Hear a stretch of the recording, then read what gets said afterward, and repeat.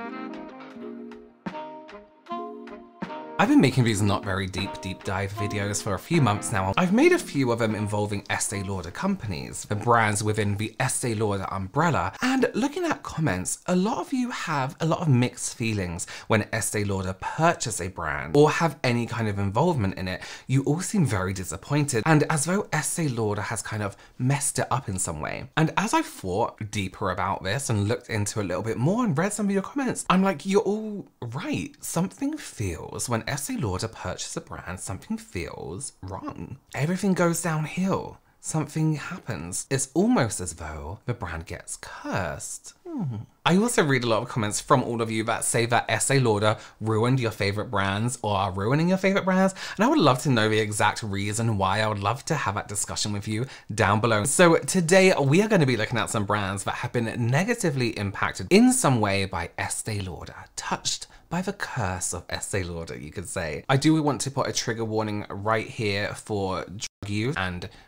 which will be at the end of today's video. Just before we get into this video, don't forget to give this video a thumbs up. Follow me on TikTok and Instagram for beauty content you won't see here on YouTube. Okay, so for those of you who don't know, Estee Lauder is kind of like an umbrella brand. Like L'Oreal, it has many different brands within its clutches. So it's not only its own brand, Estee Lauder, but it's also an umbrella brand. It has different makeup brands, beauty brands, fragrance brands within its umbrella, including MAC, Bobbi Brown, Aveda, Origins, Bumble and Bumble, Tom Ford Beauty, Jo Malone, Aramis, Dr. Jart, Too Faced, Creme de la Mer, goes on, it goes on and on. So Estee Lauder are quite notorious for buying up brands, purchasing them, acquiring them, whatever you want to call it. In fact, between 2014 and 2016, Estee Lauder purchased seven brands altogether. It's quite rare when big brands purchase a brand and see something in a brand that they want. So for Estee Lauder to purchase seven brands within four years is a lot. They've purchased these brands for millions, hundreds of millions, even a billion on the rare occasion. Brands that they see to be highly profitable. And this was the case for our brands we're going to speak about today, who were touched by the Estee Lauder curse. But if Estee Lauder thought these brands were so profitable, what went wrong and why were they kind of ruined? Why do big conglomerates like Estee Lauder shut down brands that they once saw as being a money mine for them? Or why do they make them like purchase online or only available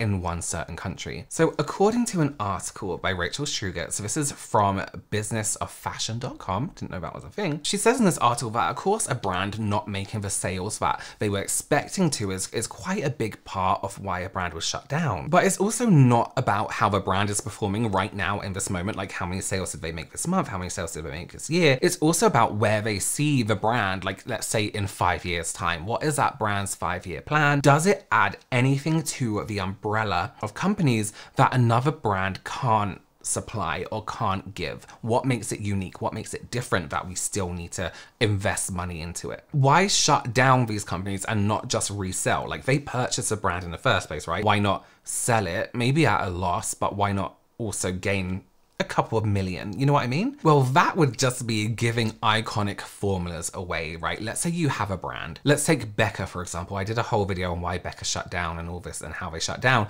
But Becca had their iconic formulas, champagne pop highlighter, right? And their under eye correctors why would Estee Lauder give away or sell those iconic formulas for, let's say, a couple of million when they can just move it over to another brand with those formulas and keep that formula, those ingredients, that secret formula, I guess it's not so secret, within their company? They can keep an iconic formula known around the world within their brands rather than let another company have it and profit maybe millions and millions and millions from that formula. It's theirs, you know? It's like um, an heirloom. So let's start with our curse brands, with a brand that they actually did exactly this to. I always need to look at the name of this. Rodin Olio Lusso. I've also never heard of this brand. so Rodin was a fashion stylist. That was their main job for three decades, 30 years. Rodin Olio Lusso was launched in 2007 and that brand became so um, successful that became the primary focus. So this brand was one of those like, oh, it's natural, kind of like body oils, face oils. My name is Jessica, and I'm an entrepreneur. My beauty philosophy is more is more, or the most is the most.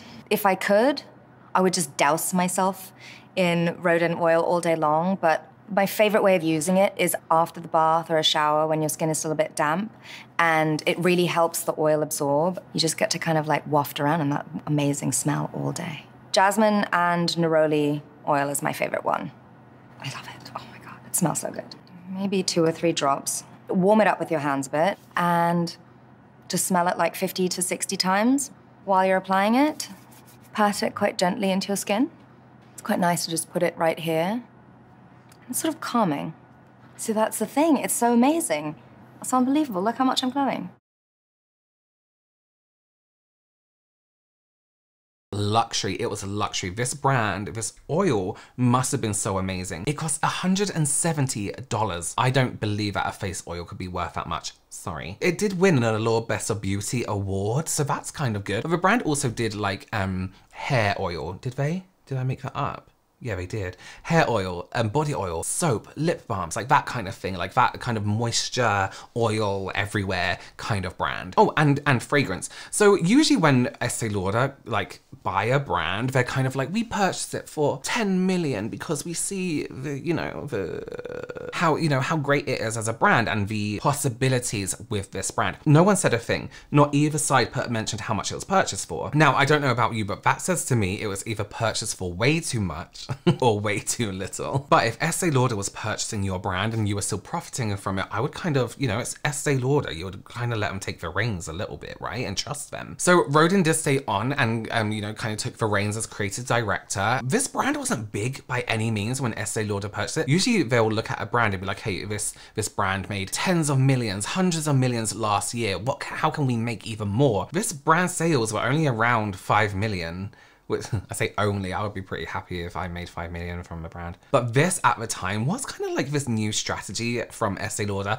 to purchase smaller brands that perhaps weren't worth millions and millions and millions yet, but could possibly be in the future. So, you know, get it while it's hot kind of thing, but not too hot room temperature. So I mentioned that this ties into Estee Lauder repurposing brands and formulas that they closed down like they did with Becca and Smashbox. So some products, iconic products from Becca moved to Smashbox and it's like Becca by Smashbox, you know? I guess Estee Lauder couldn't see anything else happening with this brand, despite purchasing it for an undisclosed amount and, and thinking what else they can do it. It's quite unique, like this oil elixir as a brand. I think they could do a lot of it. Creme de la Mer have their overpriced elixirs and stuff like that you know? So I guess it's not so unique. You know what I mean? They could have done, I feel like they could have done more of it. I certainly never heard of it. What they didn't do is take a brand with a cult following and make it like an everyone following a household name. They really missed the mark on that. But what they did do is after they shut it down, they teamed up with Jo Malone. So Jo Malone is the fragrance company. They do like hand creams and stuff like that also. And this was kind of like the answer to like Jo Malone skincare. They introduced these oils from Rodin what was it called? Rodin Olio Lusso into the Jo Malone brand. So you can actually still go on some places that sell Jo Malone, Selfridges, for example, here in the UK, and find the Jo Malone and Rodin Olio Lusso oils on their website. And they're still selling it as their Jo Malone dives into skincare. Here's what Selfridges has to say. Jo Malone is famed for its sumptuous collection of fragrances and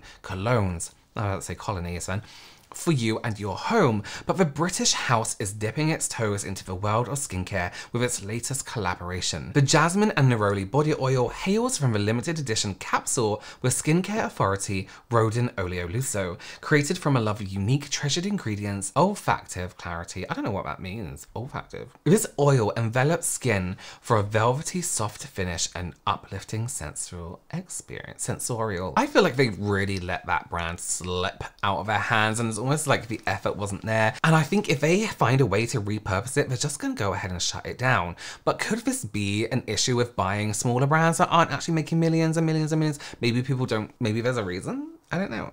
Let's move on. Prescriptives. Now, if you're really, really young, you won't remember Prescriptives. Prescriptives was a really cool brand. I, I loved the look of it. I never tried it. I wasn't in my makeup era then, like makeup on me, but I thought it was a really cool idea. And I remember seeing the counter in very select department stores in the UK, like quite high-end ones. This brand was really a creation of Estee Lauder, right? So in 1979, Estee and Leonard Lauder, who are up there in Estee Lauder because it's them. It's quite literally Estee Lauder. Created prescriptives. They wanted something completely different to what was happening in department stores on the market where you can get very specific products, right? Made for you. So they asked Cindy Shantakai, if you recognize that name, it's because it's the same person who went on to create Shantakai Cosmetics. But that brand wasn't around yet, but they, they reached out to her to help formulate some products for this company that they wanted to make prescriptives. Come up with a formula, come up with a way to like match these foundations to people. She made this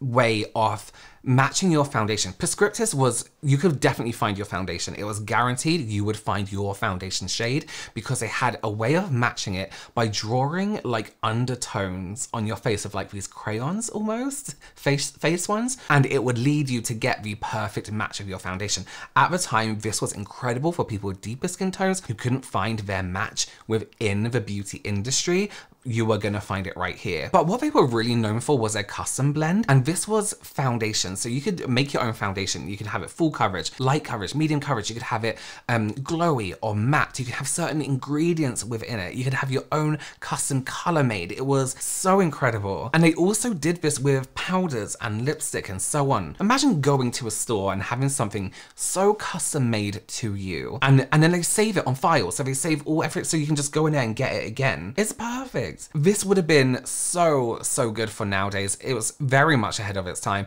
It shut down in 2010, but they kept like stock in stores and then people who they had um, deals with, whatever, they kept the, store, the stock with them until it sold out. So you could get it online for a limited amount of time. And then some retailers, but not like a prescriptive counter, for example. Perhaps Estee Lauder at this time struggled to uh, market something like this. I think it will do so well now. It was even better than like, you know, like Il Makiage who make you do a whole um, quiz when I actually only sell one foundation at this point in time.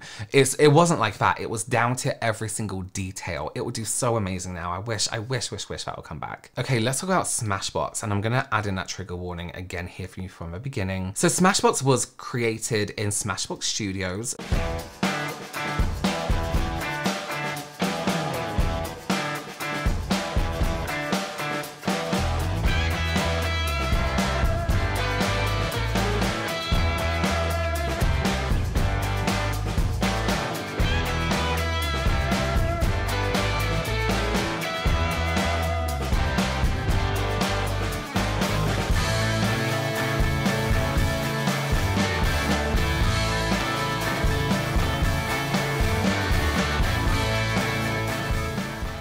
Which is was like a studio and then they created a makeup brand in 1996 in LA. That's very much like what Milk did. Milk Studios then made a makeup brand also. And this was actually um, founded by Dean and Davis Factor, who are the great grandchildren? Yeah, great grandsons of the legendary makeup artist Max Factor, the actual guy himself. I didn't realize they'd been around for that long, but in 2022, Smashbox, who were owned by Estee Lauder at this time, announced that they were ceasing all sales in the UK and Ireland, in stores and online, and would no longer be shipping to um, any of these countries from September of that year. Nothing was really said about why they were doing this, and to be fair, it wasn't like the brand was a big deal. And here in the UK, it was very confusing what kind of level Smashbox was on. In my opinion, the, the quality of a product didn't match the prices. They were drugstore quality products with like mid to high end prices. There was a, I owned an eyeshadow palette from them, which was really nice. It was like, use it wet and dry, but the price it was, I got a discount, obviously being part of Estee Lauder companies, but it just, it wasn't, it wasn't that good. I don't know why it was so pricey. So regarding the stopping of sales in the UK and Ireland, a spokesperson said,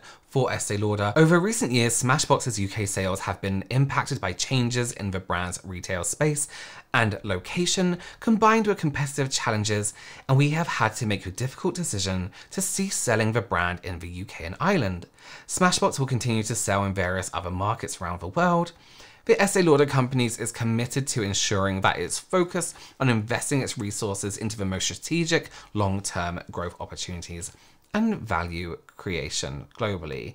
I lost, I just read that without even thinking about it in my mind. And the brand was actually launched in 1998 in the UK and it had the most horrific start. It was awful. So a report by The Guardian put out there that a public relations person involved in Smashbox was actually and raped by a friend of Dean and Davis Factor at the launch event for this brand in the UK. And this basically resulted in, and rightly so, the UK beauty press not giving this brand any attention and any love. And of course, then Smashbox really struggled to get, make a name for themselves in the UK and get their name out there as people weren't talking about it because they didn't want to. And had I known about this before researching this, I wouldn't have used their brand altogether. There are other companies that have closed down within Estee Lauder. They include um, Becca and actually a whole fragrance division that they had as well. They didn't continue their contracts and just let them kind of go. But you know what I think is next for Estee Lauder? Glam Glow. Did you know Glam Glow are still around? I didn't. Have you ever experienced